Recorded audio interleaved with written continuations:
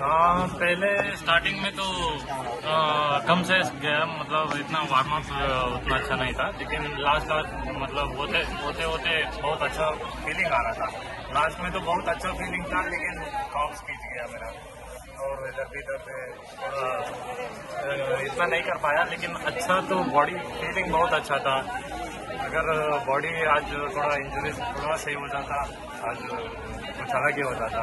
नीरज के साथ खेलना? वो एक नीरज के साथ इंटरनेशनल में ऐसा इतने बड़े लेवल में खेलना। हाँ, वो तो मेडल भी जीत गया बहुत खुश हो रहा है हाँ, बहुत प्राउड फील हो रहा है आज वो भी गोल्ड हुआ। लास्ट बार तो सेकंड हुआ था। इस बार तो गोल्ड हुआ बहुत खुश हो रहा है। मतलब अलग ही फीलिंग हो रहा है आज।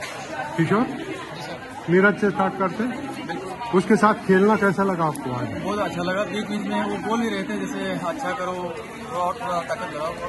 ध्यान दो। बीच में बोल ही रहे थे। बाकी गोल आया बहुत खुशी हुआ हमको। बाकी और बहुत रह गया और वो नेक्स्ट स्टेप पूरा कर लेंगे। किशोर तुम इनिशियली थोड़ा स्लो था बट बाद में थोड़ा रिलैक्स लगने लग गए थे रिदम आ गया था। वो वाला में थोड़ा प्रेशर रहता ही है तो फ़र्स्ट टाइम है।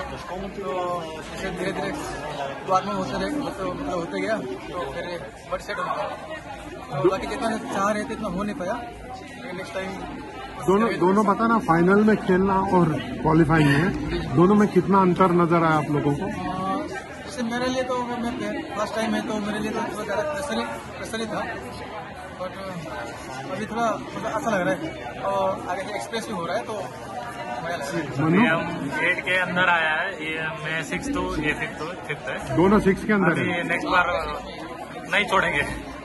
ये फिफ्थ सिक्स को फ़र्स्ट सेकंड कर लेंगे। Super thank you guys well done Neeraj Neeraj को इधर बुला दो।